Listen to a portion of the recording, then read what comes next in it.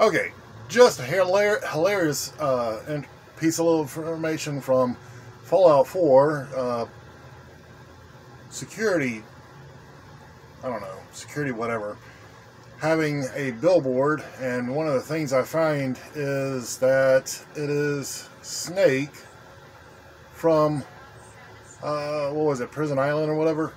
It's a movie from the 80s. And I'm sitting there going, just, that's just hilarious. I mean, that's fantastic and hilarious. I mean, come on. Seriously? All those little tidbits of uh, information, lore from other movies. I'm just like, oh, good movie too, back in the day.